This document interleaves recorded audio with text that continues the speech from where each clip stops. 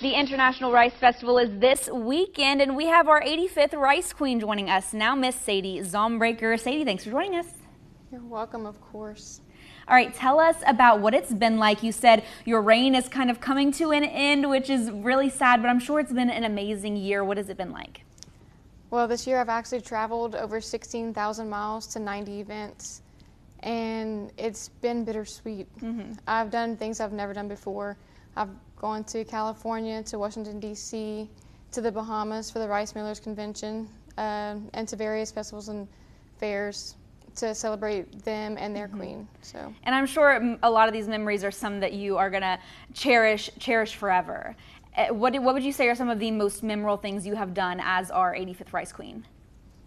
Kind of can't pinpoint one that's like my absolute yeah. favorite, but I can say that my friends that I've made mm-hmm. will last an absolute lifetime.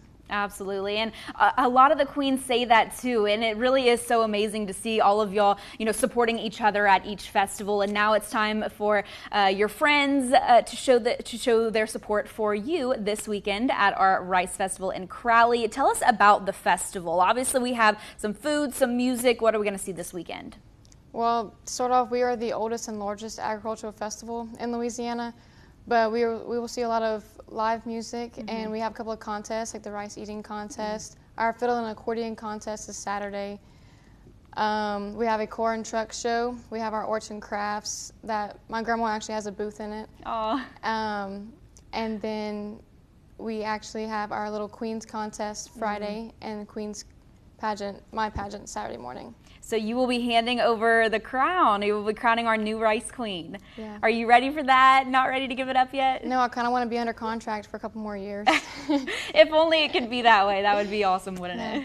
Absolutely. All right, the Crowley, uh, the International Rice Festival in Crowley, kicking off on uh, Thursday, th- on Thursday. So this is a four-day festival. A lot of times we see the three-day, but this one's longer for us. A little bit. Love that. Okay, starting on Thursday, the International Rice Festival in Crowley. You guys can see Sadie Zaunbrecher there, our 85th Rice Festival Queen. Again, all happening in Crowley this weekend.